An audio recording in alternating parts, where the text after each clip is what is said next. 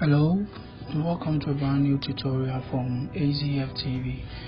Today I'm going to show you um, how to learn um, digital graphic design. If you're a beginner, if you are an amateur, wherever you are, you can start with me and learn something about digital design. By the way, the software I'll be using in this program is Adobe Photoshop CS6 that's the preferred software for this program. So today we are going to begin with layers. Layers.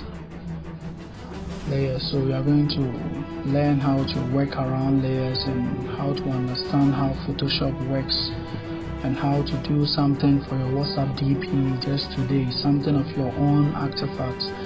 Okay. So let's begin here is the interface of Photoshop, that's CS6, Adobe Photoshop. We have the menu bar over here, um, we have some controls bar over here, we have the toolbar. As a designer, you have to learn how to use every damn tool over here, every tool over here. okay, so there's your layer panel tool. So you can find your character paint tool here. If it's not here, you can go to window and select character appear for you. You have the navigator. The navigator is this scale. That's what you use to zoom in and zoom out your projects. So quickly let's start with our project for today. That's our introduction to test layers. Okay. So you click on file, you go to new. If you want the shortcut to that, you can just press Ctrl plus N. Then you are there here you set the dimensions for the work that you want to work on. If you are working on a banner you need to know the feet you convert it into what? Inches. For photoshop doesn't have what? Feet in it features. So 12 inches make one feet so you do the conversion and other things. Um, the HD dimension for every WhatsApp DP with the brightest color, the good color and good resolution is 1024 by 20, 1024. We have a reduced what SD, that's a standard what definition, that one is 640 by 640. But today we are going to do a high definition work for the stats. So I'm going to use 1024 by 20, 1024 and since the numbers are the same, clearly anyone with any lay knowledge in mathematics will get to know that the thing will look like a square because all the sides are what the same. The resolution you keep it at 100. 100 is okay. You leave everything as such.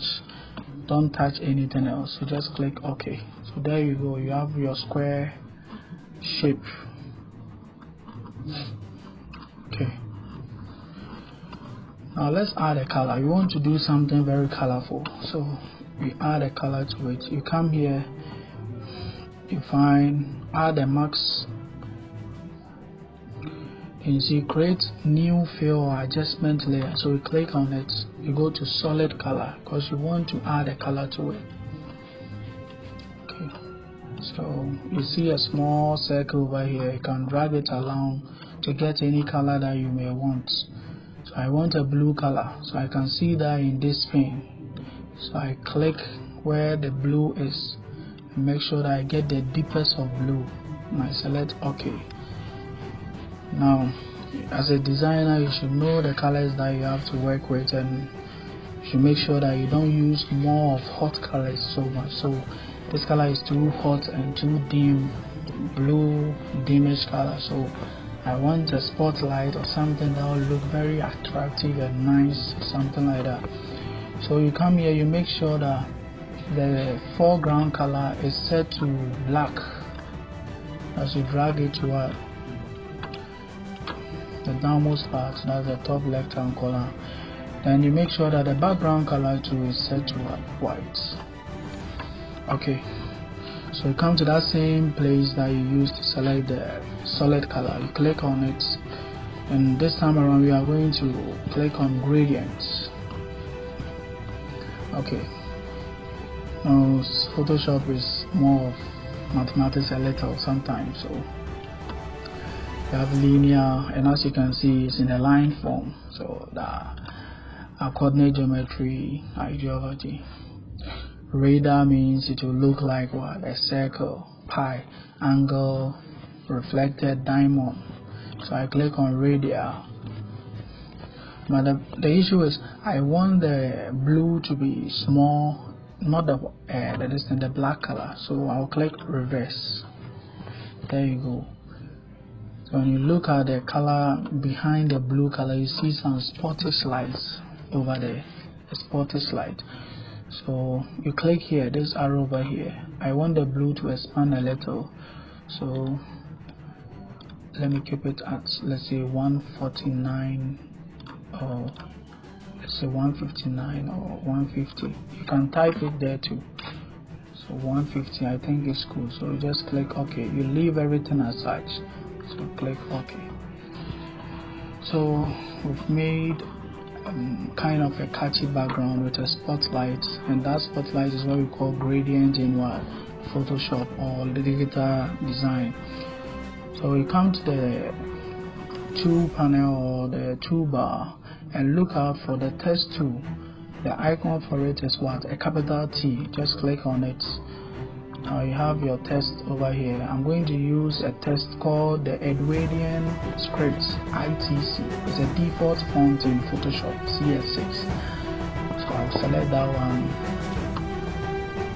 Make sure you select your color. I'm going to use white. Now you have to know knowledge of colors too because I can use black on blue to make everything look greenish so I have to use a bright color white yellow something of that nature.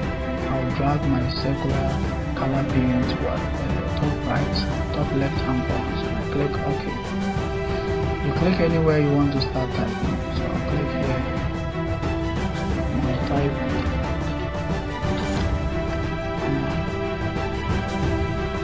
Okay. After typing number you see um, correct sign to the I to tell that this you've gotten it correct don't like the way am I so you click on the character I'm saying that if you can't find this A here you can go to window and select it from here character okay it will appear over here the font is 122. It seems small to me, so I'll increase it. When I put it here, I'll see some two arrows. When I click or hold um, left click and drag it to the right side, the font will be what? Increasing. As you can see. So you drag it to right and it will be increasing. Click drag to right to increase. It looks a little bit big for me, so I'll reduce it a little. It's okay well so that's it we've done something. So these are what you call layers. Now what you need to know is that since the armor is on top of all these layers then that means that the armor is going to be more visible to our audience. The moment I put armor beneath what I click on armor and move it beneath the blue color I'm not going to see armor again. So this is why we call this what layers. The moment I drag it and leave it on top of what the layer panel then it will appear over here. Okay. It's kind of annoying in the middle so in Photoshop we are all human beings you can't work with precision. So in Photoshop you are able to adjust things into the middle. So you press ctrl A. Okay. Then you select the first tool over here. We call it the move tool. Okay. Select it now on the control panel over here you find align center over here. Align horizontal center. So I'll click on it. It's in the middle now. Then you come here align vertical centers. Then it position in what the exact what middle or the central part of the project so you see some dashed lines around it. I want you to move away from it. So I hold control D there you go everything is off. So this is what we call test layers. And you can put this at your WhatsApp DP and you will not have to crop it because the dimension that WhatsApp DP needs is 1024 by 1024 pixels and that's what we worked around with. So let's see how you save this document after doing everything you have to learn how to save it. So you come here file. Come to save as um, I want to save it on desktop. Find a name for it. AMA test layer okay. If you save it in PDS form that's a Photoshop PDS form PDD form that means that you'd want to work on it uh, some at a later time or something like that. It's an unfinished thing. You want to save it as your own work. But now you want it to come out as a picture so you search for JPEG not JPEG 2000 neither is it JPEG stereo you look for JPEG JPG so you click on that then click save. Uh, the reason why I like Photoshop is this part.